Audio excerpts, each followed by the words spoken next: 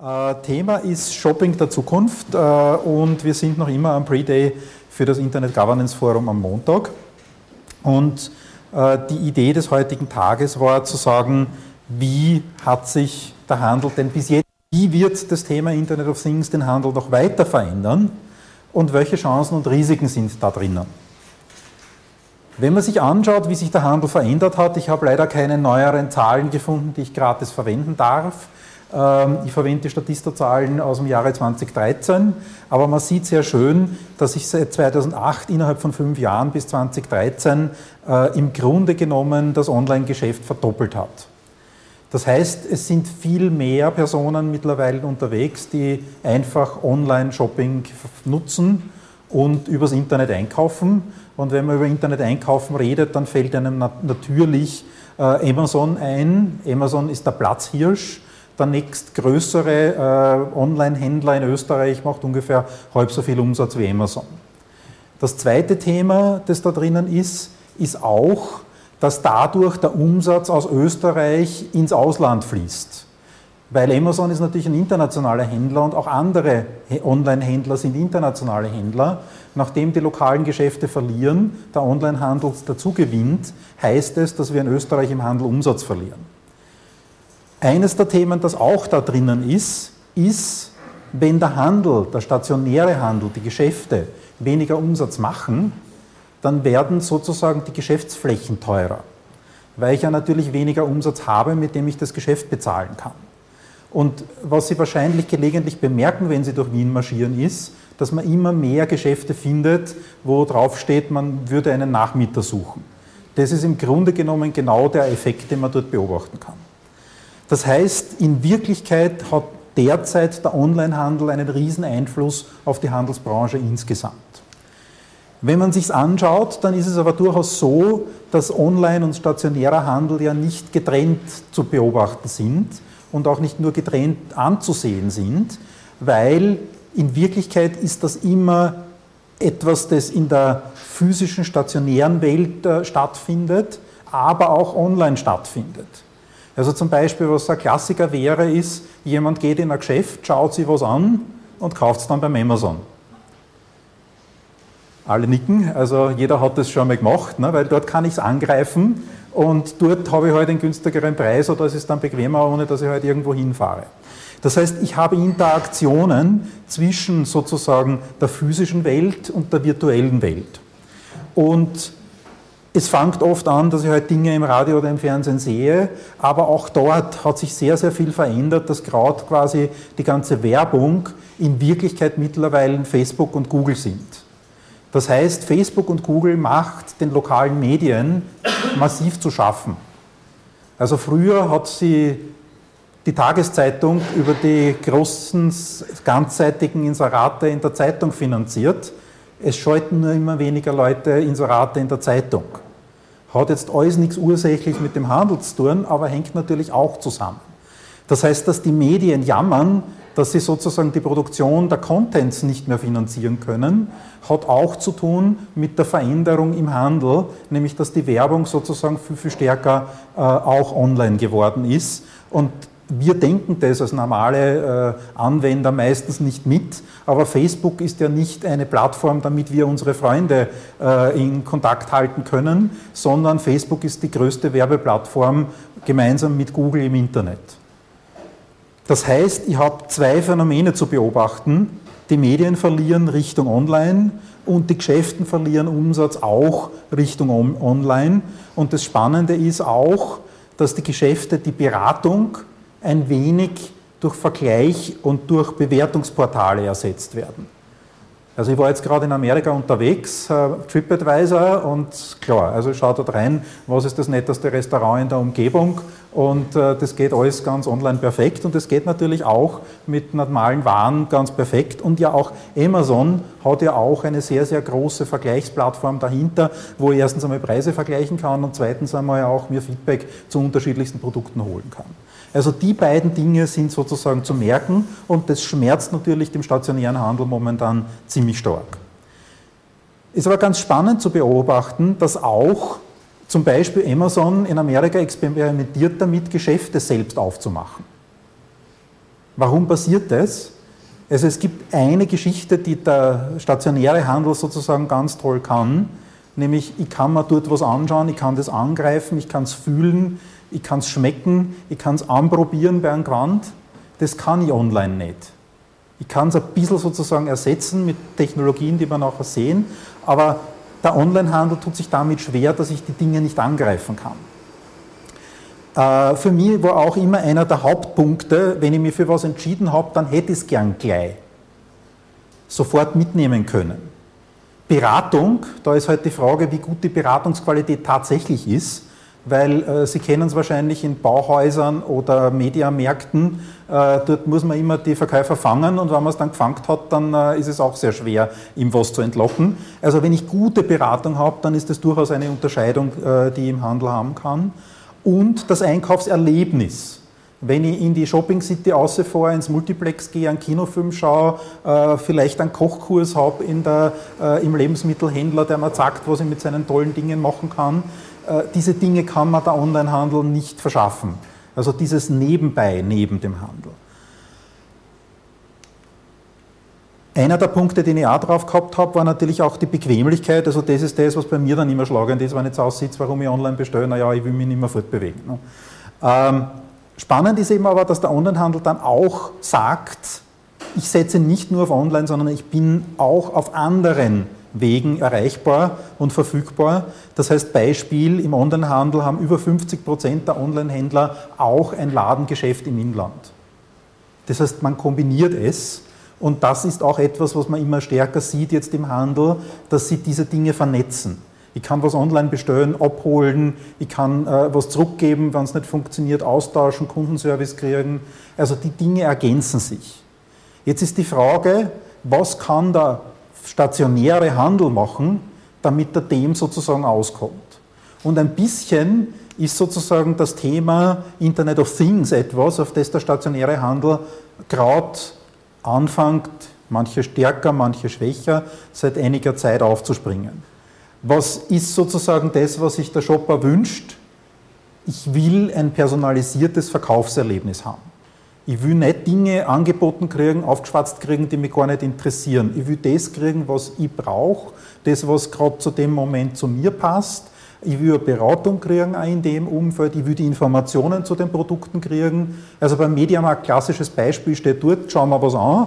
Äh, der Berater kann mir auch nicht weiterhelfen. Das ist online ja besser. Ja? Und die Frage ist, kann man, wie kann man dem Konsumenten da helfen? Das zweite Thema ist, wenn ich in ein Geschäft gehe, ich will natürlich das Zeug haben, das ich mir eigentlich so vorgestellt habe, weswegen ich gerade ins Geschäft gegangen bin. Das, das muss etwas, das ich suche, dort verfügbar sein. Und wenn es schon nicht das ist, was ich mir zuerst ausgesucht habe, irgendeine gute Alternative dazu, dass ich dort wieder aus dem Geschäft rausgehen kann. Schlimmste ist immer, wenn ich im Supermarkt reingehe, Freitagabend nach der Veranstaltung, die Frau wartet auf das Zeug, damit sie kochen kann und dort ist das Regal leer. Ne? Also genau diese Dinge sind zu verhindern. Die Informationen im Shop nutzen. Äh, eine der Möglichkeiten sind solche Dinge, die wir da stehen haben.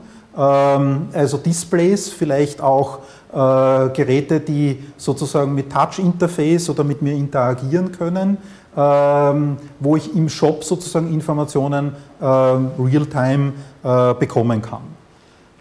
Der Bildschirm, den ich ständig mit mir trage, ist natürlich mein Mobiltelefon und das ist natürlich auch zur Interaktion geeignet und ich kann natürlich auch Informationen für die Produkte, von den Produkten aus dem Geschäft, Werbeeinschaltungen sozusagen auf mein Gerät bekommen. Ups. Was auch spannend ist, ist, das Geschäft muss natürlich über mich lernen. Wie kann das Geschäft was über mich erfahren? Naja, es beobachtet mich. Erster Schritt, ich gebe euch einmal gratis Internet. Ihr braucht sich nicht einmal einbuchen mit dem Handy, aber ich weiß zum Beispiel aufgrund meiner Sender im, äh, im Lokal sozusagen, wo ich mich gerade befinde. Wenn es euch einbucht, noch umso besser, kann ich noch mehr über euch lernen. Wenn ihr meine App verwendet, umso besser, weil ihr mir dann noch mehr Dinge verratet. Wenn die App fragt nach gewissen Dingen, die sie freigeschalten bekommen möchte, dann verratet ihr mir vielleicht auch noch, wer ihre Freunde sind und was die alle tun. Bluetooth-Beacons, ich kann so kleine blaue äh, Dinger, können alle Farben haben, irgendwo hinpicken und wenn ich mit dem Handy vorbeigehe, dann weiß der, dass ich da bin und der zeigt mir genau die Informationen an zu dem Produkt, das dort in der Gegend gerade ist. Kann sogar böse sein und so ein Beacon zur Konkurrenz bicken. Das heißt, wenn ich bei der Konkurrenz eine marschiere, weiß er, dass ich gerade dort bin. Gibt es übrigens ein interessantes Beispiel. Ähm, ich weiß nicht, aus welchem Land das ist aber äh, in einer Firma bieten sie sozusagen von 100% nach 0% zählend Rabatt an, wenn ich gerade beim Mitbewerber einmarschiert bin. Und je nachdem, wie schnell ich schaffe, von seinem Geschäft in mein Geschäft zu kommen, kriege ich dann den Rabatt sozusagen äh, für das Produkt. Ne? Also wenn ich es unter, unter 100 Sekunden schaffe, habe ich vielleicht 10%, 15% Rabatt, wenn ich schnell unterwegs bin und ins Geschäft hineingehe. Videoüberwachung die Videoüberwachung denkt man ja immer langläufig dazu, dass die ja nur dazu dient, zu schauen, ob nicht einer was einsteckt. Ne? Aber mit der Videoüberwachung kann ich natürlich auch Gesichtserkennung machen. Ich kann zum Beispiel schauen, wohin meine Augen gerade schauen. Das heißt, ich weiß, dass mir das Produkt interessiert hat, weil ich es, weiß ich nicht, fünf Sekunden angeschaut habe, im Gegensatz zu den anderen Produkten, wo ich gar nicht hingeschaut habe. Also auch Kameratechnologie kann uns da einiges an Informationen äh, zusätzlich liefern. Smart Shelves dass ich natürlich auch sicherstellen kann, dass im Regal was drinnen steht. Das Regal kann automatisch sozusagen schauen darauf, dass die Milch da ist und dass ich nicht um 18.30 Uhr hinkomme und alles an Milch ist ausverkauft. Äh, das haben wir schon gehabt. RFID-bezahlte Bezahlsysteme. Also mein klassisches Dafürhalten ist, dass die Geldbörse wahrscheinlich in ein paar Jahren obsolet sein wird und wir werden alles im Handy drinnen haben und ich werde mir dort aussuchen können, mit welcher Bezahlmethode ich bezahlen kann. Also Kreditkarte, Bitcoins, weiß nicht was, äh, suche ich mir einfach das Beste aus und mit dem zahle ich dann. Aber ich werde nicht mehr so wie jetzt der Börse haben, wo ich nicht mehr weiß, wo ich meine Karten hinstecken kann, weil äh, die einfach übervoll ist. Dynamische Preisgestaltung, wir haben da oben so ein schönes Price Deck, mittlerweile sieht man sie langsam auch in österreichischen Supermärkten auftauchen. Der große Gag dabei ist natürlich, dass ich die Preise zentral steuern kann und auch sozusagen tagesaktuell, von mir aus an minutenaktuell, die Preise im Regal verändern kann. Ist natürlich auch eine große Gefahr dabei, weil ich kann die Leute damit auch veräppeln. Also wenn ich weiß, dass jemand mit einem Apple-Telefon beim Milchregal vorbeigeht, kann ich ihm natürlich den Milchpreis teurer machen, weil er kann sich ja leisten.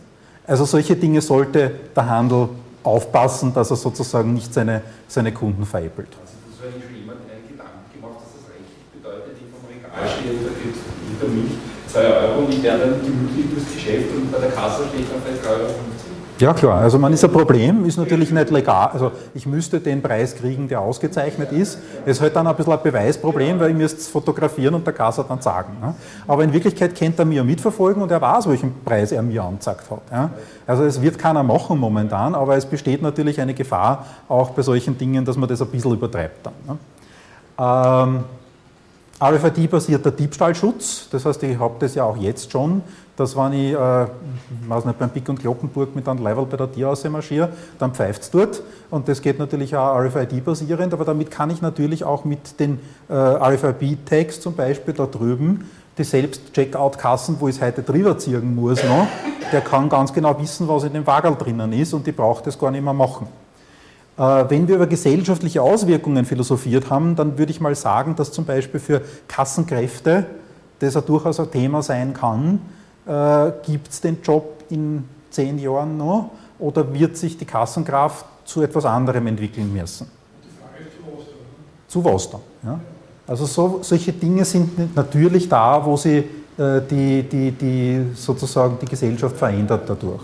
Auch einer der Punkte, wahrscheinlich im Supermarkt nicht so spannend, aber Virtual Reality, wo ich sage, ich möchte bestimmte Produkte, die vielleicht im, im, im, im Laden gar nicht verfügbar sind, mir anschauen. Also eines der Beispiele, das es gibt, ist, äh, ich gehe in ein Autogeschäft und ich konfiguriere mein Auto durch. Der Händler hat nie das Auto dort stehen, so wie ich es gern sägen tät, weil er hat nur eine gewisse Auswahl und es gibt fast unendliche Konfigurationsmöglichkeiten. Und dort ist natürlich Virtual Reality auch eine Möglichkeit oder Augmented Reality, dass ich mir halt eine Brille aufsetze und bestimmte Dinge angezeigt kriege, die sozusagen in die reale Welt dazugeblendet werden.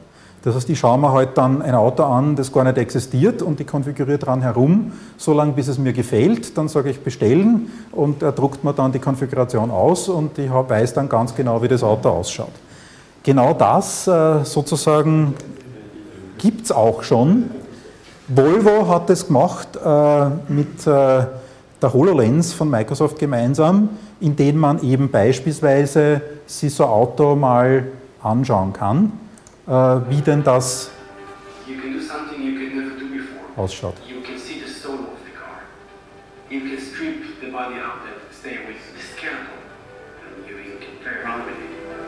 The HoloLens can allow our customers to see features, colors, options.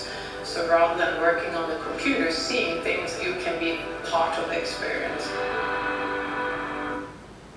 Also die Frage ist, wird ein Autogeschäft in Zukunft nur so ausschauen wie jetzt, dass ich eine Halle habe, wo, weiß ich nicht, 40 Modelle drinnen stehen, damit man zumindest halbwegs sagen kann, äh, wie seine Fahrzeuge ausschauen. Gebraucht natürlich, aber da ist es auch kein Konfigurationsproblem. Das kann ich dann zu Hause auch machen. Aber bestimmte Dinge kann ich mir natürlich dort physisch anschauen. Das heißt, ich kann mir einmal, ich weiß es nicht, ein 3er BMW anschauen, wie er einmal so grundsätzlich ausschaut kann mich einsetzen, kann ihn spüren, kann ihn riechen. Schöne frische Ledergeruch, ne, wenn man das erste Mal im Auto drinnen sitzt. Also diese Experience kann ich zu Hause derzeit noch nicht haben. Aber es zu erweitern sozusagen und äh, diese Dinge zu spüren, das ist natürlich spannend. Augmented Reality, auch zum Beispiel Möbelkauf, auch ganz was Spannendes. Ne? Ich sitze zu Hause, sehe mein Zimmer und konfiguriere mir jetzt die Möbeln da rein. Ne? Also das sind Dinge, die derzeit äh, der Peter Max macht das ja mit seinen Küchen, ne, wo man davor sitzt und er sagt dann, wenn er da jetzt was dazu tut, das kann ich mir natürlich direkt in meinen Raum dann anschauen. Solche Sachen. Eine Geschichte, die IoT immer wieder kommt, ist der Kühlschrank. Ich glaube nicht, dass es den so schon gibt. Ne? Das heißt, dass man quasi alles weiß, was da drinnen ist und das sich automatisch nachbestellt. Aber es gibt schon gute Ansätze dazu, nämlich eine App. Und zwar, wenn ich die Einkaufs-App mit meinem Kühlschrank sozusagen verbinde und die App weiß, was ich alles einkauft habe, dann weiß die App auch, wann die Milch abbrennt. Und es gibt auch mittlerweile schon äh, solche Kühlschränke, die eine Kamera einbaut haben, wo ich dann vom äh, unterwegs, weil ich habe natürlich vergessen nachschauen wieder, nachschauen kann, ob denn im Kühlschrank noch was Bestimmtes drinnen liegt.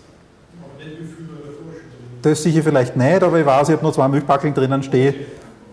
Kein, ich baue nicht wieder einen Milchsee, wie ich es manchmal tue.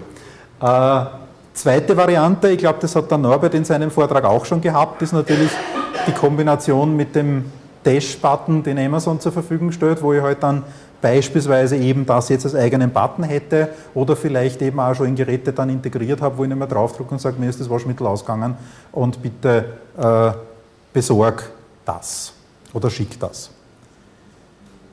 Wie ist jetzt das große zusammenhängende Bild? Oder um Georges Frage zu beantworten, was hat das Ganze jetzt mit Internet of Things zu tun?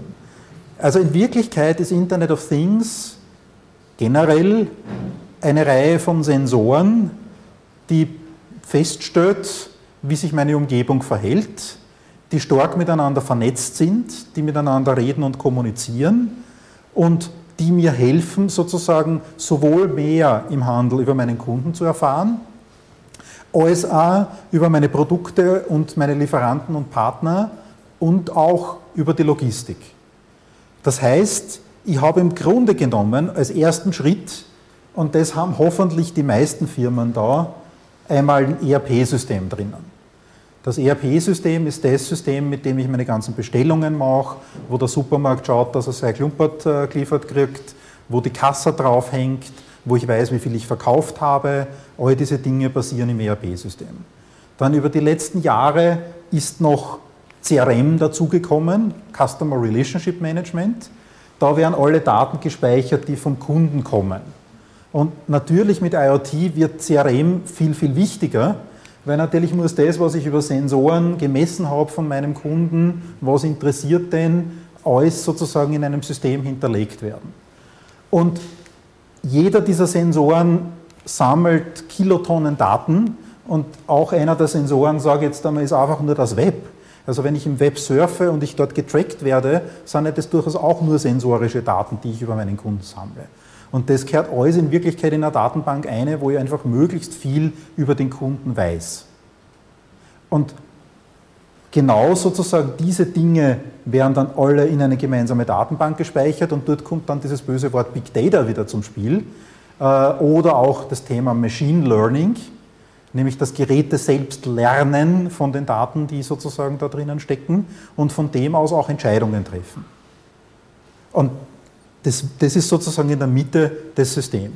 Das heißt, wenn ich da feststelle über Sensoren, dass im Regal die Milch ausgegangen ist, dann wird mein ERP-System davon informiert, dann wird es rechtzeitig bestellen beim Lieferanten. Der Lieferant wird den Logistiker beauftragen und ich weiß, dass der Lastwagen, der mir die Milch bringt, ungefähr 15 Minuten von mir entfernt ist und mit den drei Flaschen, die noch im Regal stehen, haue ich das noch durch. Und auf der anderen Seite weiß ich, dass die Dame gerade in Richtung Milchregal geblickt hat. Das heißt, wahrscheinlich wäre ich in kurzer Zeit noch eine Flasche verkaufen. Und das sind sozusagen genau die Zusammenhänge da drinnen. Was heißt ERP? Äh, Enterprise Resource Planning.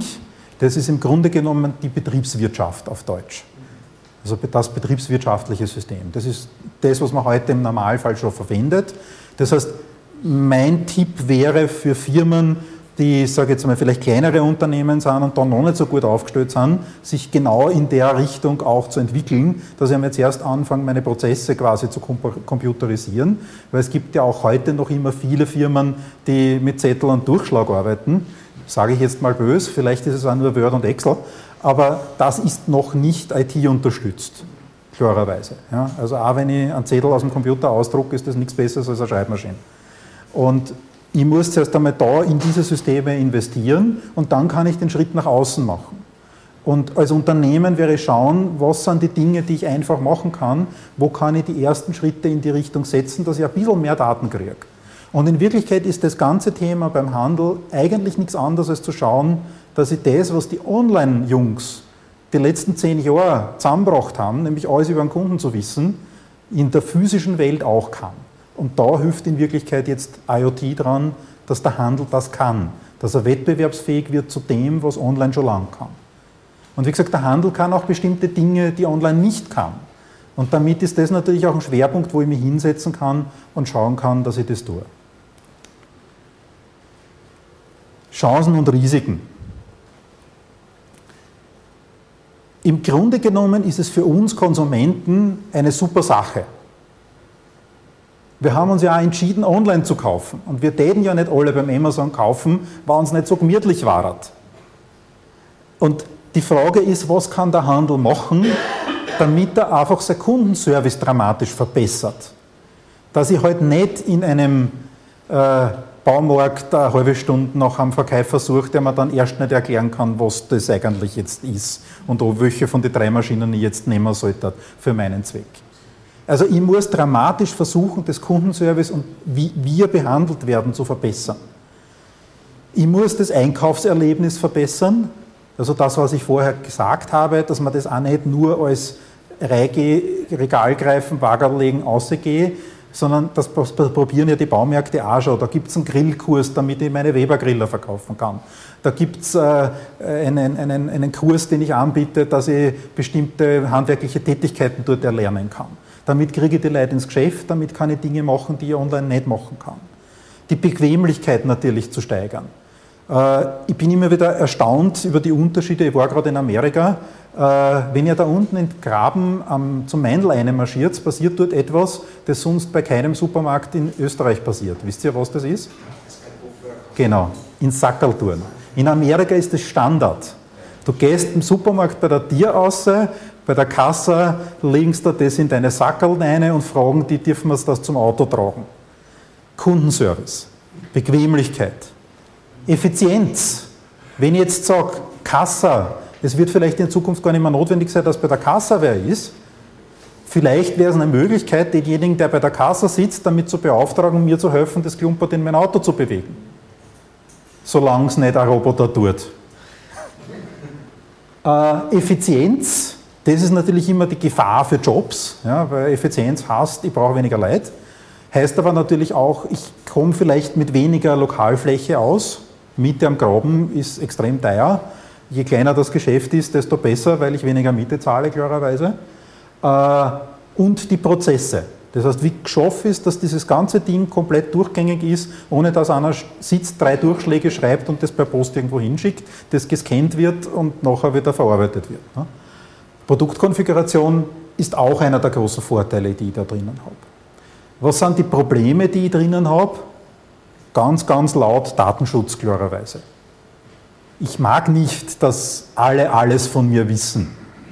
Es mag sein, dass ich gewisse Produkte kaufen möchte, wo nicht jeder weiß, äh, was, dass ich das gerade einkaufe. Ähm, kann mich erinnern, als Jugendlicher im Supermarkt war es immer extrem peinlich, die Kondome zu kaufen, ne, bei der Kasse dann vorbei zu müssen. Also jeder kann sich sicher was vorstellen, wo er sagt, ich will nicht unbedingt jetzt haben, dass jemand weiß, dass ich das Zeug jetzt kaufe, weil es geht niemandem was an. Ähm, meine Lebensgewohnheiten. Man kann ja sehr, sehr viel ableiten. Also in Wirklichkeit könnte ich vom Einkaufsverhalten auch ableiten, wenn wir gerade vorher beim E-Health-Thema waren, ob jemand gesund oder krank ist. Weil er verändert sein Einkaufsverhalten. Äh, Kunden zu verschrecken mit Technologie, mit Anwendungen, mit Überwachung. Da muss ich einfach sehr, sehr aufpassen darauf, dass der Kunde nicht sagt, so jetzt renne davor und mache lieber was anderes. Das Sicherheitsthema, das wir vorher geredet haben, auch, auch das ist ein großes Thema da, äh, sowohl für den äh, Händler als auch für mich selbst. Bezahlsystem, ist es sicher, kann man nicht einer was aus der Geldkasse abheben. Und das Thema Verlässlichkeit funktioniert das ganze Werk ja noch, weil es ja extrem viel komplexer wird. Damit bin ich mal durch. Eine gesellschaftliche Auswirkung, die ich vorher schon genannt habe, ist, die Jobs verändern sich, klarerweise. Also Kassendame oder Herr war gerade vorhin angesprochen, aber natürlich sind es auch andere Dinge, die da passieren. Und äh, wir können nur schauen, wie wir diese Technologien bestmöglich nutzen, damit wir in Österreich auch einen Vorteil haben. Wenn wir es nämlich schaffen, dass die Kunden vermehrt wieder ins Geschäft gehen und die Umsätze zum Beispiel physisch im Geschäft passieren statt online, oder vielleicht Kooperationen entstehen zwischen Geschäften und Online-Händlern, wo ich dem Online-Händler bestimmte Services zur Verfügung stelle und einen Teil der Werkschöpfung in Österreich halte, sind das natürlich große, große Themen, die ich habe. Damit bin ich am Ende und wir hätten noch ein bisschen Zeit wahrscheinlich miteinander zu diskutieren.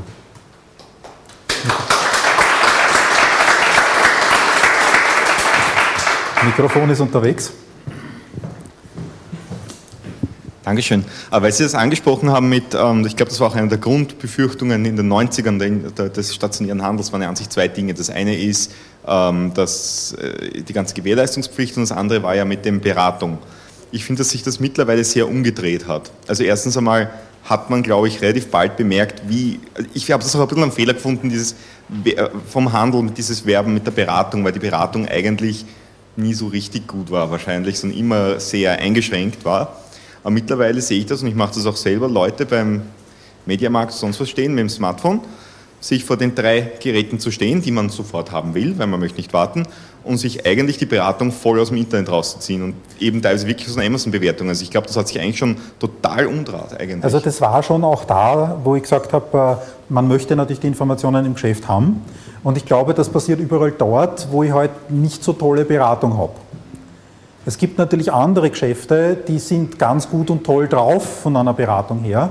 Also ich nehme jetzt ein schlechtes Beispiel, weil es ihn nicht mehr gibt und deswegen kann ich ihn auch gut nehmen. Äh, der Ditech zum Beispiel war beratungstechnisch top. Dort haben sie die Leute auskennt und wenn ich reingegangen bin, der hat mir es bis aufs kleinste Schräubchen erklären können. Also dort bin ich mir sicher gewesen, dass der Ditech-Techniker mich besser berät, als wenn ich mir auf Amazon Kritiken durchlese. Das heißt, man muss immer unterscheiden, bin ich eigentlich in einer Lagerhalle, wo ich jemanden rumrennen habe, der die Regale, Regale vollschlichtet und der mir dabei auch noch die Dinge erklären soll, funktioniert nicht.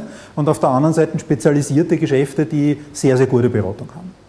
Und dort ist halt die Gefahr, dass jemand dann beim Ditech bei der Tier eine rennt und äh, beim Amazon kauft und die Frage ist auch dort, wie scharf ist, dass der Kunde sozusagen für die Beratung was zahlt. Das ist ein Riesenproblem, das der Handel hat.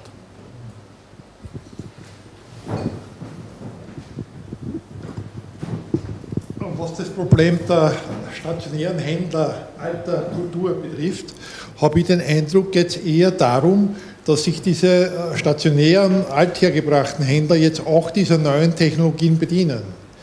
Weil letztendlich, wenn sich die stationären Händler mit den Online-Technologien ergänzen, indem sie zum Beispiel auch lokal ein Abhol-Online-Shop einführen, dann können sie alle Möglichkeiten nutzen, die die Online-Händler auch haben, mit dem Vorteil der lokalen Kundenbindung und mit dem Vorteil der Verfügbarkeitsinformation. Weil ich persönlich, zumindest für meine Person, habe den Eindruck, dass es nur sehr wenige Waren gibt, die wirklich sofort haben. Es ist immer viel wichtiger, dass ich weiß, wann ich die Ware, mit, wann ich mit der Ware, zu welchem Zeitpunkt ich damit rechnen kann und was die kostet und was, vor allem was die im Detail kann.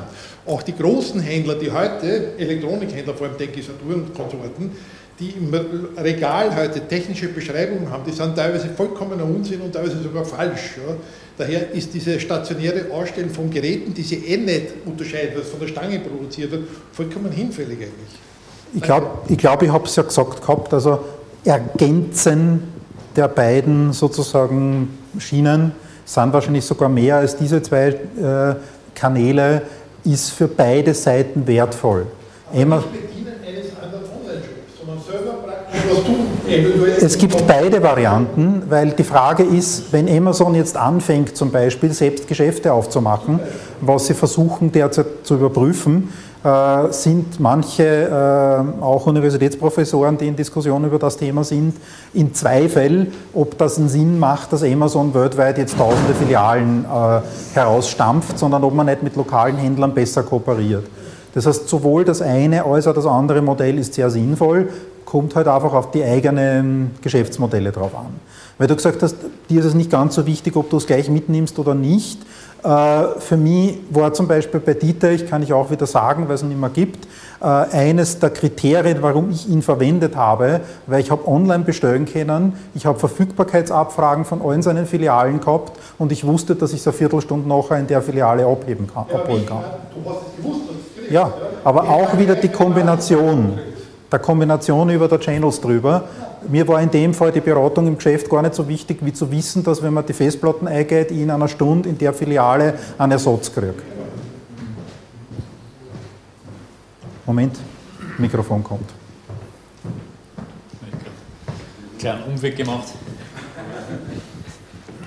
Äh, ich, während Sie Ihrer Präsentation, die ich sehr gut gefunden habe und weil es die Kernthemen getroffen hat, habe ich mir gedacht, also überlegt, was stört mich bei, wenn ich im Geschäft einkaufe, am meisten.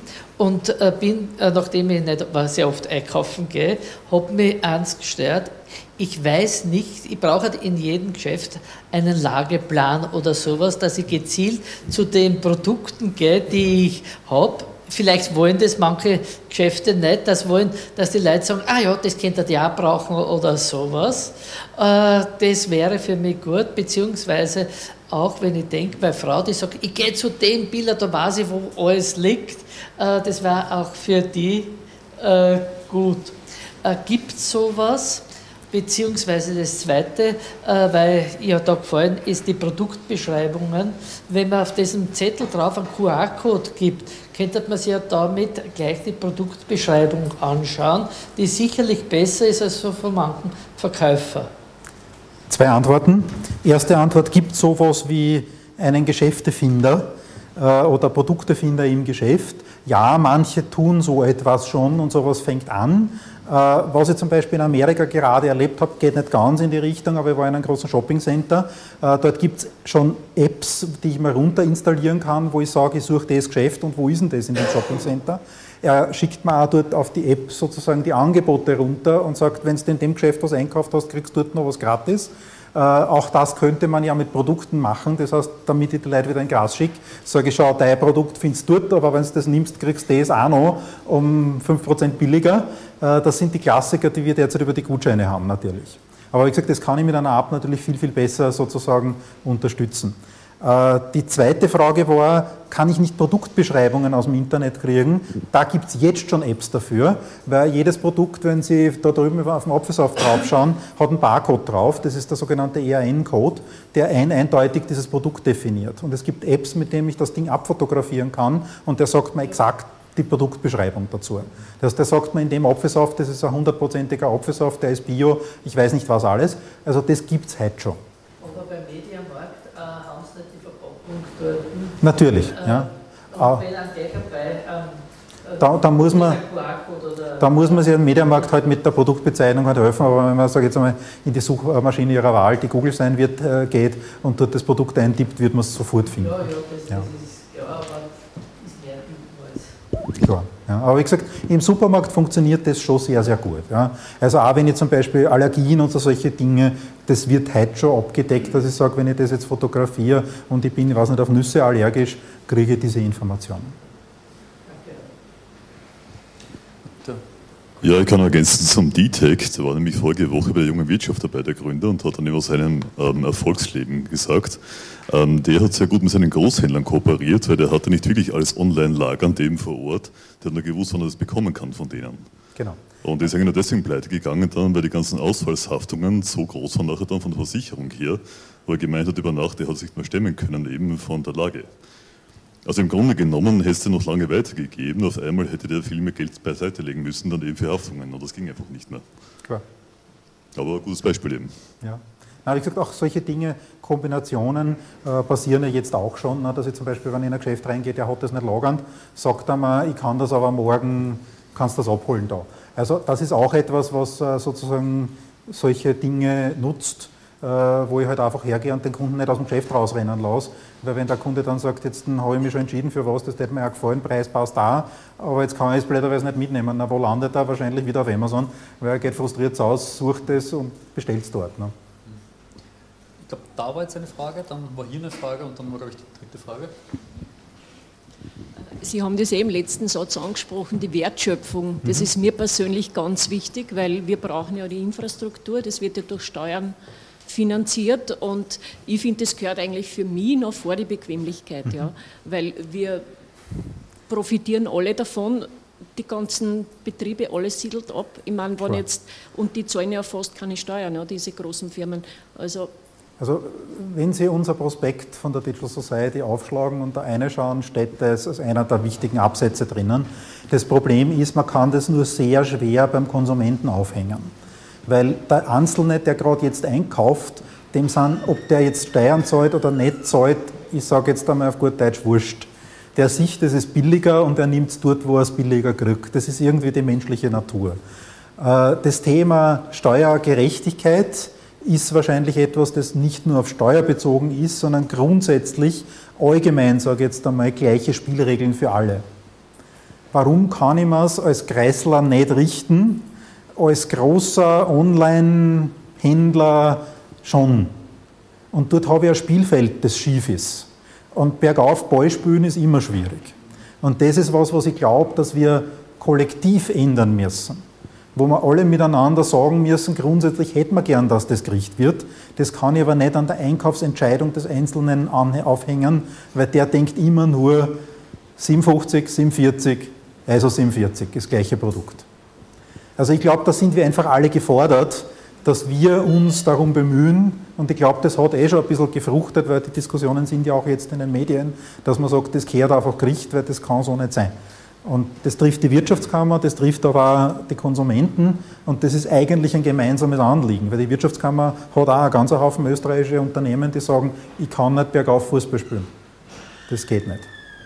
Danke.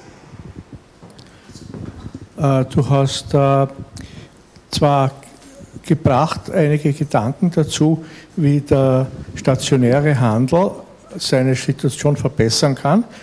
Äh, ich habe auch einen Beitrag zu liefern, wie der Onlinehandel seine Situation verbessern kann. Und zwar äh, deswegen, weil mir bin vor kurzem oder vor einiger Zeit äh, Opfer eines Identitätsdiebstahls geworden und bin draufgekommen, dass man bei 3, aber auch bei der Telekom A1 mit einer Passnummer seine Identität nachweisen kann. Wobei die Leute die Passnummer gar nicht auf, auf ausgegebenen Pass untersuchen können. Sie können nur feststellen, ob, das, ob die Nummer formal korrekt ist. Und ich streite heute noch mit drei, weil sie immer noch von mir Geld haben wollen, obwohl ein, ein Betrüger Handys gekauft hat auf meinen Namen. Und da finde ich etwas, was besser werden muss. Der Schutz des, des, des Kunden im Onlinehandel muss besser werden, sodass er nicht so leicht, genau, Sicherheit, nicht so leicht äh, Opfer von solchen Sachen werden kann. Also wie gesagt, Sicherheit ist da das Thema und äh, dort ist einfach das Thema, dass äh, manche Unternehmen, nicht alle, aber manche, einfach sagen, Sicherheit ist mir einfach jetzt einmal nicht so wichtig, weil ich muss mich zuerst um mein Geschäft kümmern. Und das letzte gute Beispiel, das durch die Medien gegeistert ist, das kann man heute, glaube ich, sogar online nachlesen, war Yahoo. Und Yahoo scheint es mit der Sicherheit weniger genau genommen zu haben, weil man halt ohnehin geschäftliche Probleme hatte. Das heißt, dort muss einfach das Mindset her, dass Sicherheit ganz, ganz ein wichtiges Thema ist, weil wenn die Sicherheit nicht klappt, dann verliere ich meine Kunden. Weil du wirst jetzt auf äh, drei auch nicht besonders gut zu sprechen sein, wenn da dort was passiert ist. Und wenn du nicht der Einzige bist, dann hat drei ein Geschäftsproblem. Und genau auf diesen Ansatz muss man ansetzen, weil das Einzige, was eine Firma interessiert ist, zahlt sie sich unterm Strich aus. Wenn ich weniger Sicherheit mache und man tut da Geld einsparen, verdiene ich mehr Geld auf der anderen Seite trotzdem noch immer, ohne dass man die Leute davor rennen. Außer sie werden gesetzlich dazu gezwungen, und es schaut auch einer drauf, dass das wirklich tatsächlich passiert.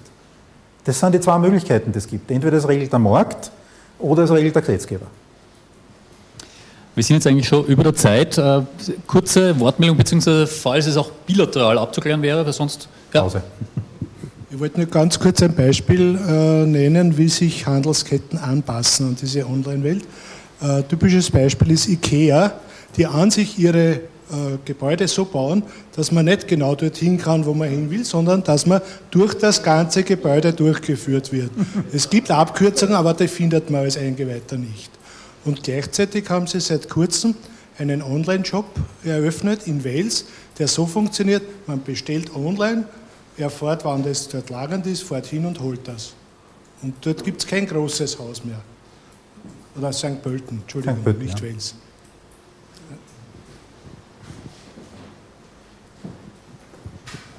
Ich möchte teilweise an die Frage der Dame anschließen, nämlich ich kaufe gerne, äh, ich suche gern technische Artikel im Internet und habe aber äh, sehr oft das Problem, dass diese, im Internet diese Artikel nur in Deutsch, hauptsächlich in Deutschland angeboten mhm. werden und ich darf viel lieber in Österreich einkaufen für die österreichische Wertschöpfung, aber und jetzt aus Ihrer Sicht, wie könnte man österreichische Firmen motivieren, ins Internet zu gehen? Denn die haben das ja am Lager. Die kurze Antwort darauf, also die Frage ist, gibt es nicht eh wen, der das hätte und finden es nur nicht? Also ein gutes Beispiel hat man gehabt äh, bei der, beim IDE von der Wirtschaftskammer, gab es eine Referentin, die gesagt hat, sie hat einen, äh, einen Krauthobel gesucht. Wo man denkt, also man, Wien Sauerkraut, das machen wir eigentlich, müsste man ja finden. Und sie hat gesagt, sie hat dann eben über das einzige Krauthobel, das gefunden hat, war über irgendwie einen Händler in Deutschland draußen gefunden über Amazon und den hat es halt dann bestellt. Ja. Das Thema ist, es gibt sicher in Wien einen Händler, vielleicht sogar einen, der online anbietet, nur finde ich ihn denn? Und das Thema ist natürlich, Amazon ist ja nicht nur ein Online-Händler, sondern er ist auch eine Suchplattform für ganz, ganz einen Haufen andere Online-Händler, die über ihn anbieten. Das heißt, für die österreichischen Händler war es natürlich auch ganz, ganz spannend, dass er seine Angebote auch über Amazon anbietet, gerade bei ausgefallenen Produkten.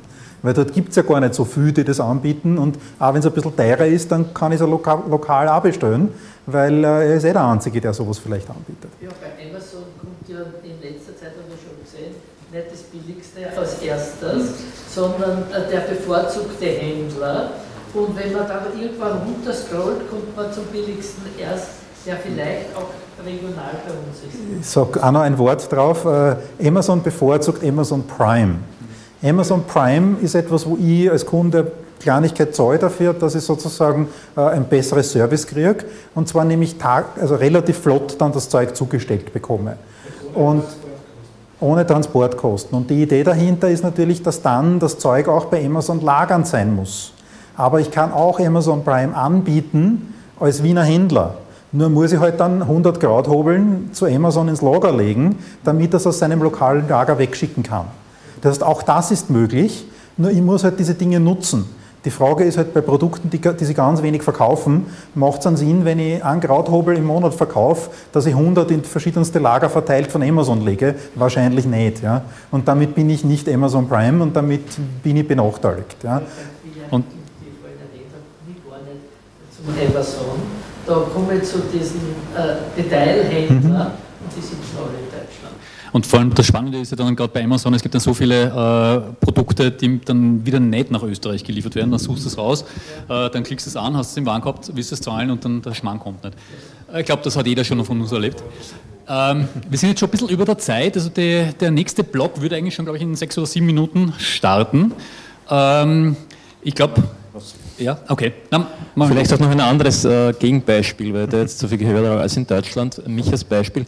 Ich habe eine, eine Spezialbatterie gesucht für das äh, äh, Blinkrücklicht meiner Frau und bin auch zu Amazon gegangen und habe da unten eine Werbung gesehen, batterien-austria.at, also ein österreichischer Händler, der glaube ich in Klagenfurt sitzt und auch Batterien und Akkus verkauft, habe dort drauf geklickt und bin seitdem für alle exotischen Batterien und Akkus dort Kunde und kaufe jetzt nur mehr direkt bei diesen Händlern. Ja, der sitzt wirklich in Österreich. Der hat auch ein Auslieferauto für städtische Gebiete und dergleichen im Web und österreichische UID, alles, ja. Hat so ähnliche Kassen, wo ich draufklickt und bin Batterieland Deutschland hm. Viele sind eigentlich nur AD-Adressen und man kommt auf eine DE-Seite, aber das ist wirklich ein österreichischer Händler und das funktioniert wirklich mit der Auslieferung und mit allen wirklich pipi-fein und das geht jetzt nur mehr direkt. Ein anderes Beispiel, äh, auch noch vielleicht ganz kurz, äh, speziell für den äh, Fashion-Retail-Handel ist vorgestellt worden ein neues Projekt von Kohl. Das ist eine amerikanische Fashion-Kette, so wie Kohl Markt, nur ohne Markt. Und die haben folgende originelle Idee, die mir sehr gut gefällt. Wenn man irgendwo etwas anprobiert und man ist in der Umkleidekabine und kommt drauf, man bräuchte es eigentlich in einer anderen Größe, dann ist das natürlich blöd. Jetzt hat man sich vielleicht auch noch angestellt und jetzt muss man wieder zurückgehen und das holen. Und die haben Displays angebracht über sämtliche Ware, die sie haben, äh, inklusive der Verfügbarkeit und der verschiedenen Farben. Und wenn ich dort mit einem T-Shirt in das Size Medium hineingehe, dann habe ich da drinnen einen Scanner mit einem Tag auf dem Textil drauf, sage, das habe ich jetzt anprobiert und zeige das Display an, in welchen Farben gibt es das noch und in welcher Größe. Und wenn ich eine andere Größe haben will, dann gehe ich auf den Touchscreen drauf und dann kommt das Personal, holt es vom Ständer oder vom Lager und bringt es in die Umkleidekabine. Und die haben einen sehr großen Zustrom zu dem jetzt, was ein super Service ist man braucht weniger, aber für mich ein gutes Beispiel, wie eigentlich der Handel, wo ich sage, ich möchte es anprobieren, eigentlich diesen Weg, dass er sagt, es wird ein angenehmes Einkaufserlebnis eigentlich da bereichern kann. Jetzt muss ich noch schnell was dazu sagen. Es gibt schon Bildschirme, die schauen wie ein Spiegel aus. Und wenn man sich davor hinstellt und mit der Kamera gefilmt und kann sich dann schon virtuell schauen, wie man ausschaut, wenn man das andere Quant anzeigt. Also ich brauche es nicht einmal ausprobieren, die anderen Farben, sondern ich kann mir es am Bildschirm auch anschauen, wie ich da im Spiegel ausschaue. Das ist überhaupt kein Problem, denn Sie wissen, es gibt ja gekrümmte Bildschirme von Samsung und LG. Inklusive Schönheits-OP und äh, Vorhersage.